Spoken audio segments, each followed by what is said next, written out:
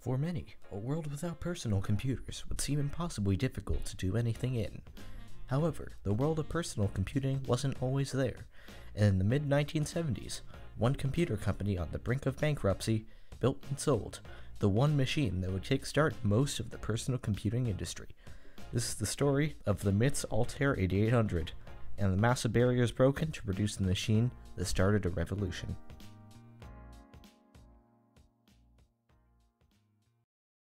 Of course, computers existed as far back as the 40s, but were either powered by vacuum tubes or later on transistors, and were the size of an entire room.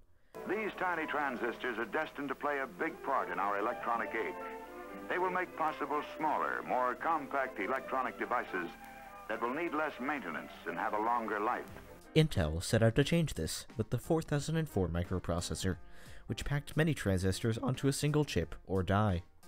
Fast forward a bit to when Intel releases the 8080 microprocessor, and maybe a month or two afterwards, the stage seems to be set for the development and release of the Altair. MITS, short for Micro Instrumentation and Telemetry Systems, was founded in 1969 in Albuquerque, New Mexico, by Ed Roberts and Forrest Mims. By 1971, they had begun shipping calculators, but by 1974, it was clear that MITS was losing money and was almost bankrupt. With the release of the 8080 microprocessor, however, MITS saw an opportunity to be ahead of other computers of the time, which for the most part were still using the 8008 microprocessor, which was slower and less capable. With the invention of an expansion bus, known more commonly as the S100 bus, the Altair seemed as if it couldn't get any better. User expandability was a questionably implemented feature in most computers of the era, and the expansion bus would make it easier for consumers to expand their computer to do what they wanted. This would become a major selling point of the 8800, and a market for cards to fit in the slots would pop up almost overnight. The Intel 8080 had a selling price of $360, but in a deal that would seem a bit ridiculous even today, Ed Roberts managed to get them for only $75 per chip. The one thing that many would say was the lifeline of the development process of the Altair was articles in various magazines. In October 1974, MITS shipped the first prototype to the Popular Electronics magazine. However, it never arrived due to issues with the shipping company.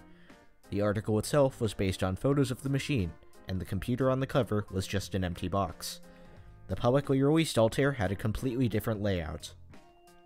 Upon release, the computer shipped with just the basics, and would either come in kit form, in which you had to build it yourself, or assembled, for a higher price.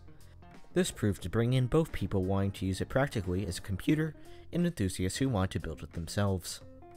The Altair was the inspiration for the Homebrew Computer Club, which included Steve Jobs and Steve Wozniak, who would go on to produce the Apple I and other home computers under the brand. Additionally, the 1975 article about the Altair inspired Bill Gates and Paul Allen to write a version of BASIC for the Altair. They would later begin working with MITS, going on to found Microsoft. And so we we wrote these this company immediately and uh, offered to do a basic for them. And they thought that was interesting. They called back and said, "Well, you're serious." As for the fate of MITS, they were acquired by Pertec Computer Corporation in 1977, and despite sales, the name and computer lineup were retired only a year or two after, due to the hardware used being outdated and no longer extremely powerful. Pertec was eventually split into two companies, one of them being purchased by Triumph Adler, the other being purchased by Scan Optics. Really, that is all that remains of the company and computer that started personal and home computing. Clones, many clones, do exist today, as well as people who have built complete replicas. However, the original Altair remains to be the one computer that started a revolution.